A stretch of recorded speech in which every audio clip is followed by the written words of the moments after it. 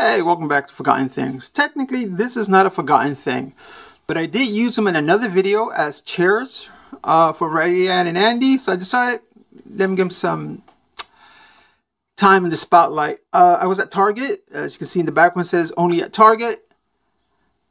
They were having a sale. These are normally like 8 bucks to 10 bucks. I got them for $4 each.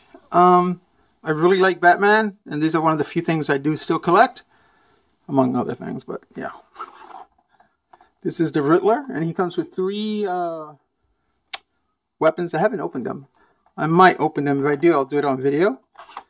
As the Riddler, this is one of the Robins. It doesn't say which Robin it is, but it's one of the Robins. Excuse me, sneezing dust. Uh, this is Batman with the Batmans. Again, there's a lot of them. This is uh, Rebirth Tactical Batman. He's pretty cool though. I really like how he looks. This is Man Bat, which is one of the exclusives. I am not going to edit this because I'm not to that kind of stuff. Uh, this is one of the uh, Target exclusive. It's also four bucks. It's really cool. I guess they call him the Creep Chaos. I'm not sure what that is. I just got them because they were really cheap.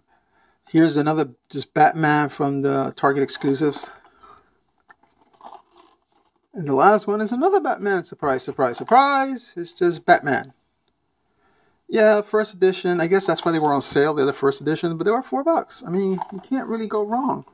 For four bucks, these things usually go eight to ten bucks, depending what store you buy them at. So, like and subscribe. Um, tell me if you want me to open them up and I'll do it on video. Thanks.